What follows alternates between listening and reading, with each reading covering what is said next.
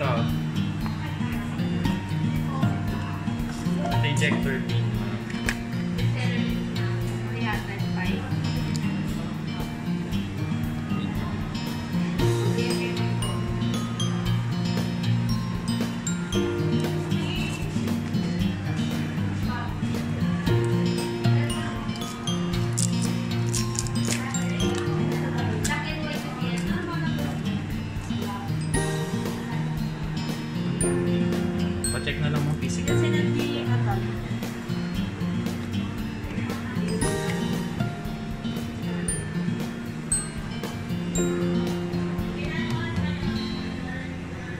Okay na.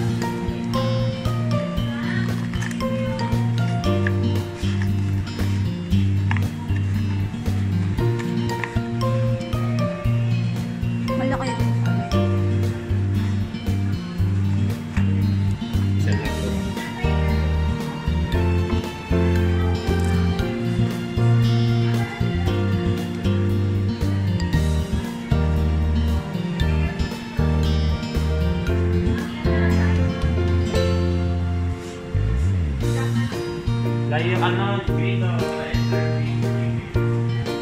Nasa receipt.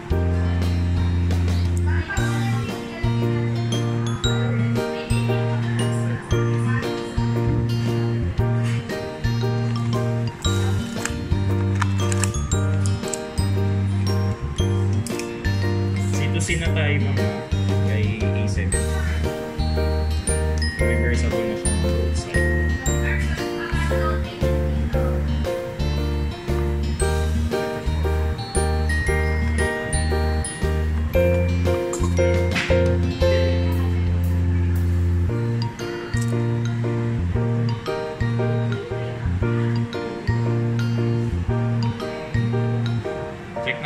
natin ma'am, type C na tayo ma'am. Reversible na po. 25 watts po. So nag-indicate na siya ma'am ng super fast charging dito. Super fast charging.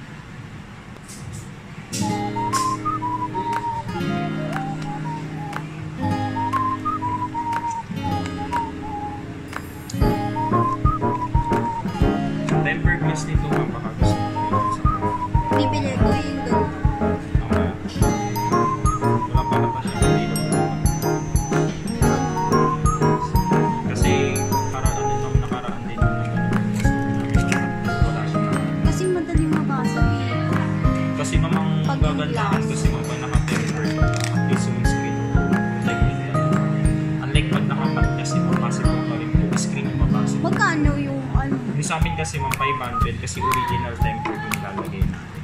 Full po siya. Lalo na kasi nung may case ka naman na sa box. So yun na lang. Maganda ba yung case? Kung gusto niyo may mga shockproof case din naman kami dito.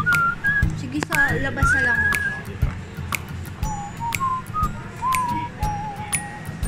Setup ko lang po siya ma'am. Ay ano ko lang po, screen test ko lang po para pa may nakita tayong defect sa screen, palitan natin agad yung unit for that pixel niya. So, dapat po wala tayong nakikitang other color.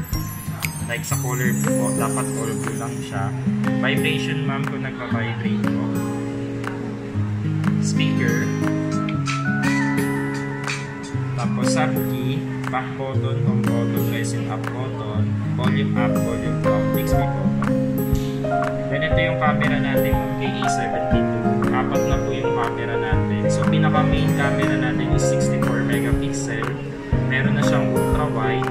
Tapos zoom natin ma'am hanggang 30 times. Tapos punta ka lang ma'am ng more other features ng camera. Yung portrait po, pag may pipicturean kang subject, mag-blur yung background nyo ma'am. So highlighted lang tayo sa subject. Tapos meron din po tayong macro lens. Yung macro naman natin mga more closest subject Slide up and down nyo lang po yung screen at yung front camera. May palm selfie pa na-detect yung palad nyo makakapag-take ka ng photos. So lahat ng application natin ma'am close all na lang. Tapos slide up na lang din natin. For settings, biometrics and security, meron na tayong face recognition, tapos fingerprint niya on screen. Tapos via Samsung members ma'am ni Samsung ah, activate mo lang po yung account nyo. Automatic kasi mapag nakapasok ka na ng members app natin, meron po tayo mga privileges, freebies kay Samsung, mga, mga, mga discount or promos. Ay na pa. Okay. Gamitin nyo na mga off ko na. Mamaya ka na. Off ko na lang muna. Dito ko na lang sa Tapos ito,